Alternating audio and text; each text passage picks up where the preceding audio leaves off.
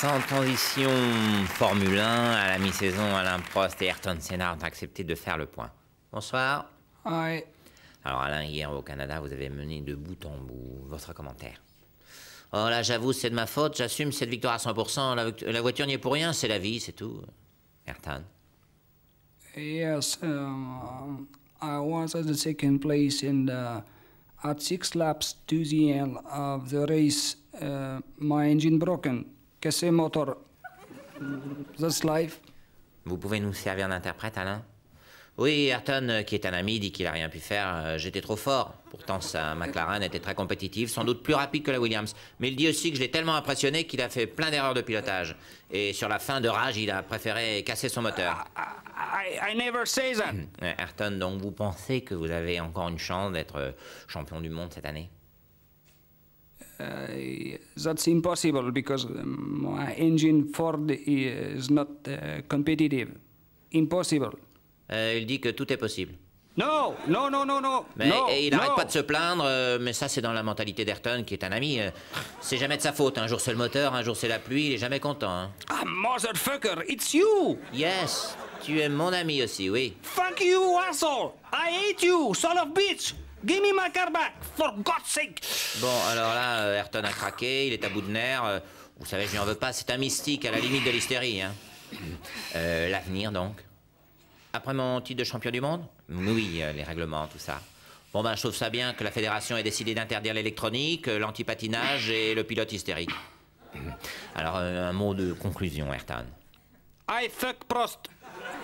Ah, euh, c'est gênant pour moi de traduire ça, mais il dit qu'il m'admire beaucoup. Je pense comme lui.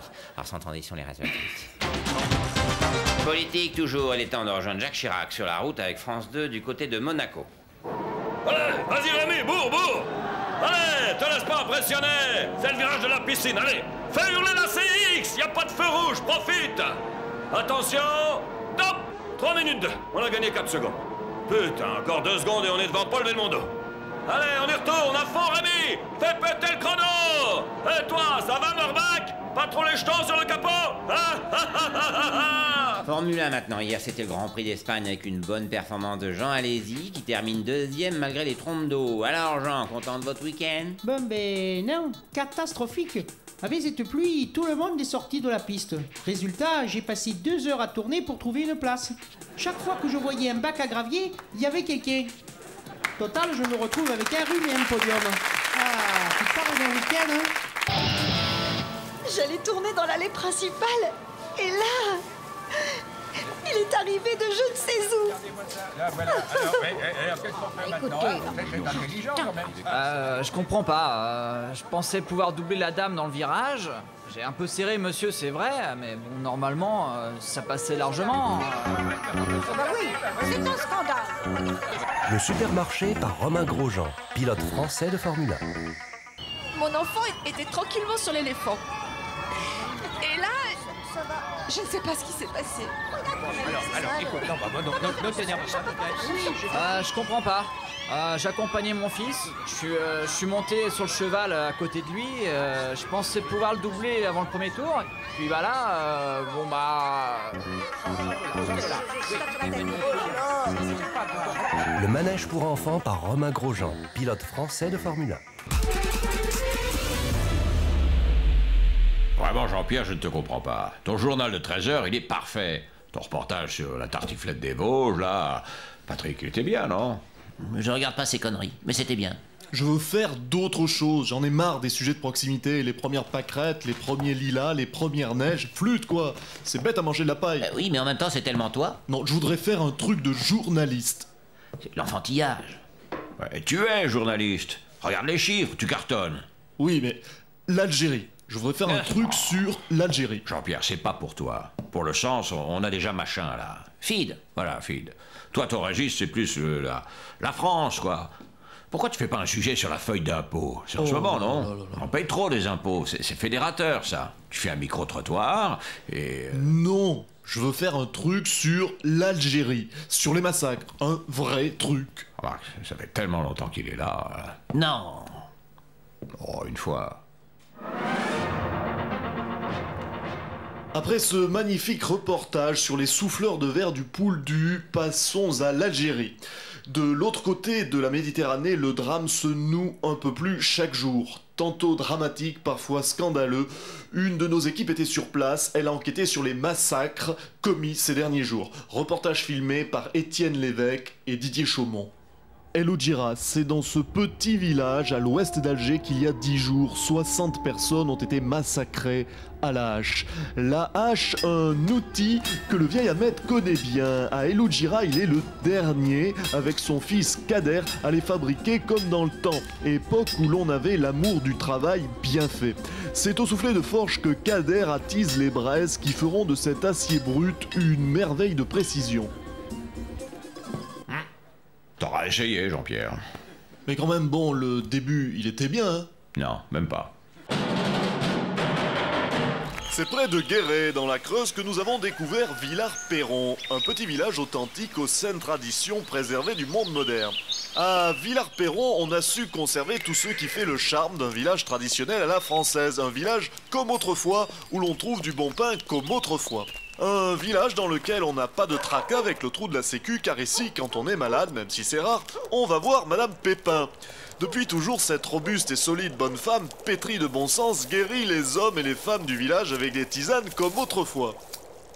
Un village où, ma foi, il fait bon vivre, car il y règne un calme reposant, pas ou peu de délinquance, notamment grâce au supplice de la roue, qui a un effet, il faut bien le reconnaître, dissuasif et qui ne coûte presque rien aux contribuables, il faut le souligner, voilà qui est dit. Bonjour, mon fils. Bonjour. Villars-Perron, petit village accroché à ses traditions où tout le monde se connaît et s'apprécie, peu d'étrangers, car ici, il faut du temps pour se faire adopter avant d'obtenir la chaleureuse hospitalité des Villipontins. Ainsi va la vie à Villars-Perron, petit village que l'on quitte à regret, en se disant qu'après tout, avant, ce n'était pas si mal. L'épreuve Donnez-vous l'épreuve Nos idées progressent, camarades. Et c'est grâce à vous, ma chère équipe de campagne. Jean-Luc, que- c'est le loto. Ah, très bien. Bon, allez, on sort sa grille, car n'oubliez jamais, le peuple de gauche joue au loto. Nous représentons le vrai peuple de gauche, donc nous jouons au loto. Et voici le premier numéro de ce soir, le 43. Bingo, je l'ai pas. Moi non plus. Ouais. Second numéro, le 33. Ouais, toujours rien. Pareil, touchons du bois. Le 39. Oh merde, je l'ai. Aïe. Pas le 14. Pas le 14. Le 11. Au pire, maintenant, euh, même si j'ai deux numéros, euh, je gagne qu'un tout petit gain. Mais c'est aussi grave. Jouer au loto, c'est de gauche, mais gagner, c'est de droite. Ah ouais, c'est vrai, pardon. Et voici le dernier numéro, le 31. Ouais, je l'ai pas Ouais On l'a perdu On l'a perdu On l'a perdu Nous allons maintenant procéder au numéro chance, qui, je vous le rappelle, peut vous permettre de multiplier votre gain. On s'en fout, on l'a perdu. Tu peux te le garder, ton sale fric. Raymond, ça va? Qui, je vous le rappelle, peut vous permettre de multiplier votre gain. Oh, Raymond Il a les cinq bons numéros. Hein? Et le numéro chance est le 1. Il l'a aussi. Voilà, si vous avez les 5 numéros plus le numéro chance, vous êtes l'heureux gagnant du super jackpot de 14 millions d'euros. C'est pas moi, hein C'est ma femme qui l'a rempli. Raymond, tu connais nos règles. Lâchez-moi ce fumier de millionnaire non, non, mais, mais c'est pas ma faute. De gauche, moi, les mecs. Je suis avec vous, les mecs. Arrête, non, arrête, arrête, non, ne connais pas.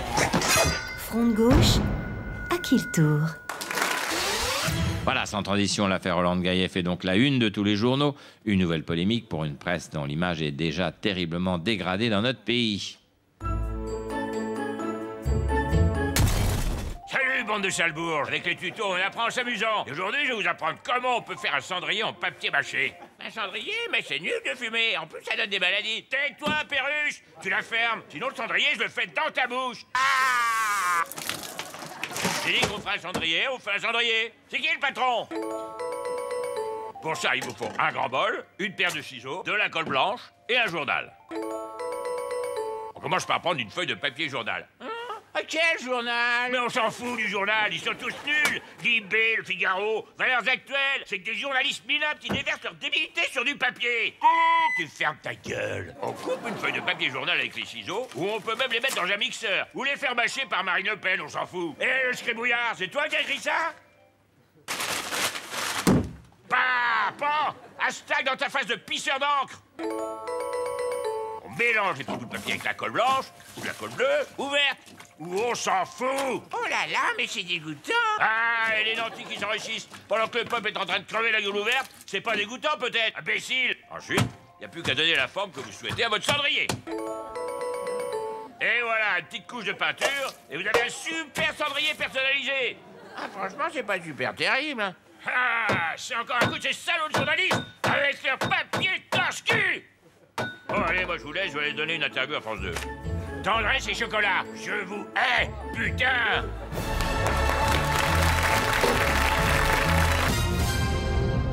On commence avec cette annonce surprise qui a pris toute la gauche de vitesse. Jean-Luc Mélenchon, hier sur TF1, vous vous êtes déclaré candidat à l'élection présidentielle de 2017. Attention, j'ai dit que je proposais ma candidature, hein, pas que je l'imposais. On a du mal à saisir la nuance. Ah bah c'est simple, avant d'aller couper les coups des patrons, j'ai décidé de mettre les miennes sur la table. Euh, très bien, mais pourquoi ne pas être candidat à la primaire de gauche? Bah, quelle gauche? Y a plus de gauche La gauche a été piétinée par Valls et Macron à coups de Weston. La gauche, c'est moi et ma veste en cuir, basta. Et Pierre Laurent, le secrétaire national du Parti communiste, vous l'oubliez? Ouais, Laurent, il est mignon, mais il est juste bon à faire griller des chipots à la fête de l'UMA. Pierre Laurent, c'est rien qu'un centriste qui aurait lu deux fois Marx.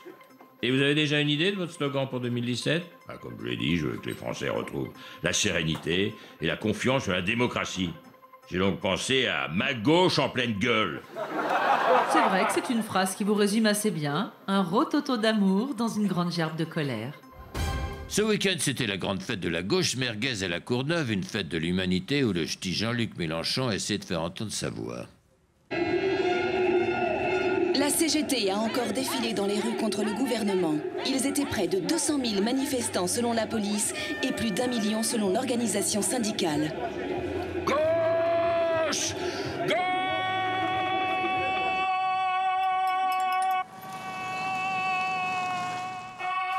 Euh, tout va bien?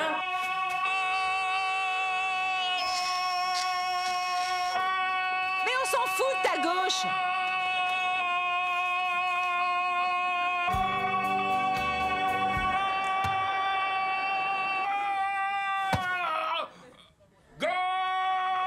La gauche ne s'arrête jamais. Sauf peut-être en 2017.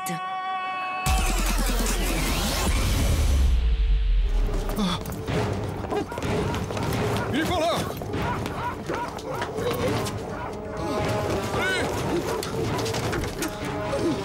J'ai pas mes papiers, j'ai hortefeux en trousse, aidez-moi.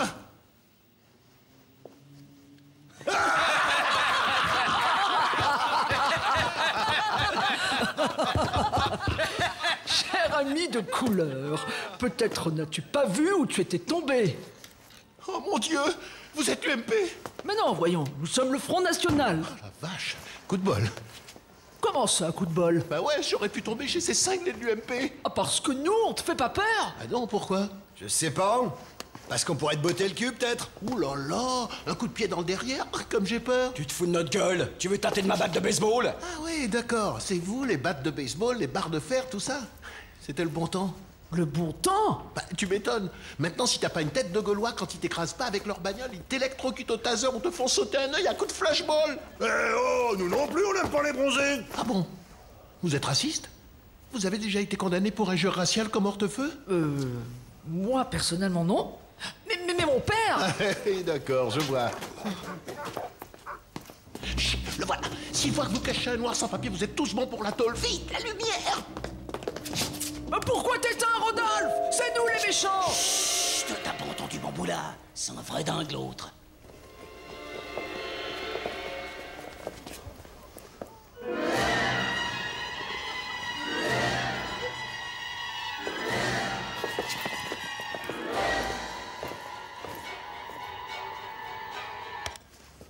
Oh, dis donc.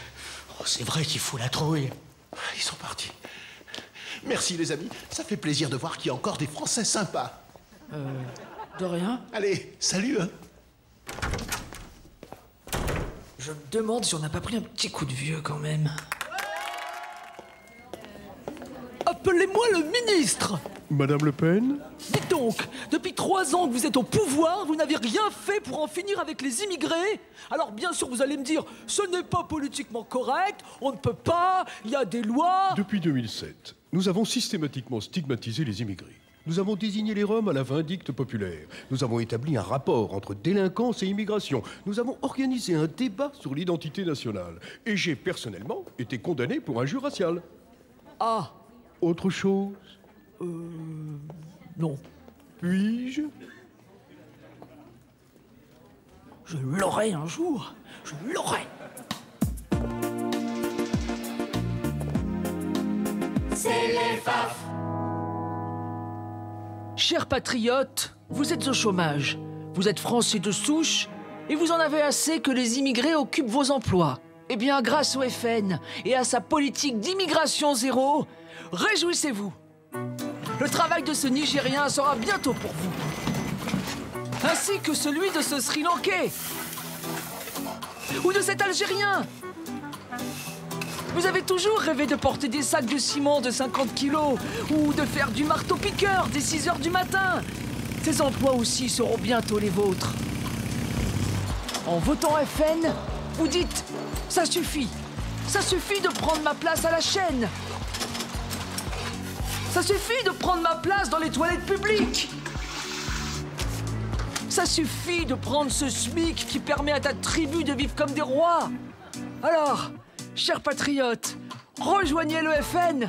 Dites ça suffit aux immigrés et vivez enfin le rêve qu'ils vous ont volé. FN, vous allez adorer.